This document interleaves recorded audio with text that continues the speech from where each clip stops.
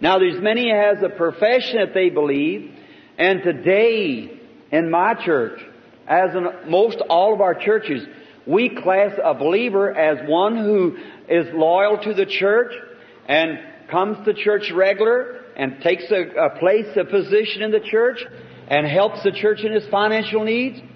But that's very contrary to what Jesus said.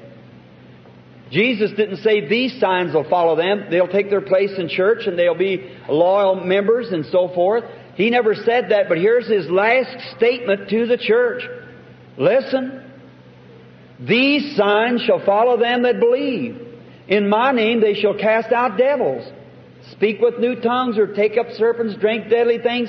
It'll not harm them. If they lay their hands on the sick, they shall recover.